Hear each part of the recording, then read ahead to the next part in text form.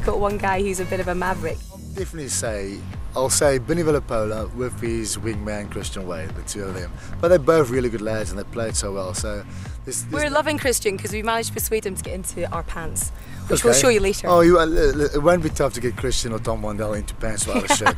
that is not.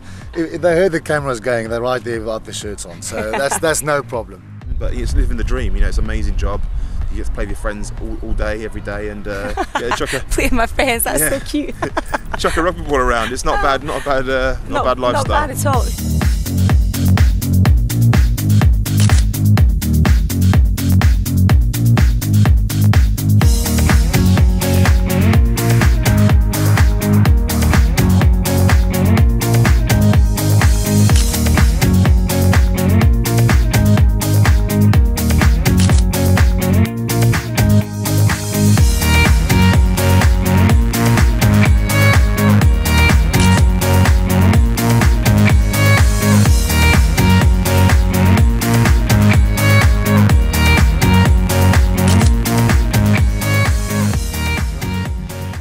It's a great start for us on, on a new kit range. I think you know um, I've been a big admirer of KooGa for the last couple of seasons.